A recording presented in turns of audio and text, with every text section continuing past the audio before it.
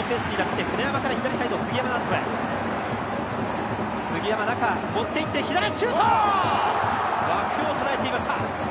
まあ今のはうまくはめながらね京都の方が少し前がかりにスイッチ入れたところですよね。えまあそこをうまく回避して逆サイドまでボール持ってきましたけどまあ今日指宿まあフリーランニングの質もそうですしボールの収まり、はい。まあ